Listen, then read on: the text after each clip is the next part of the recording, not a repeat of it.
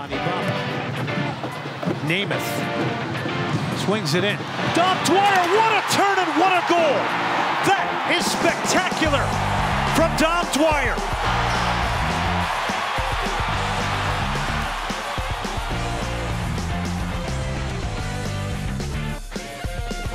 Osorio inside for Michael Bradley. Forward now for Luke Moore into the path of Sebastian Giovinco.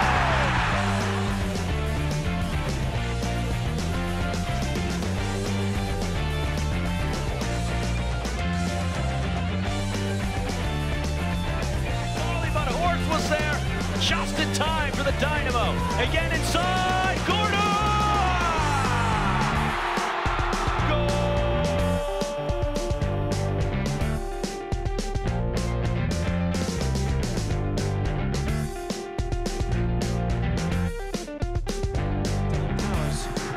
No options. Nice the ball there!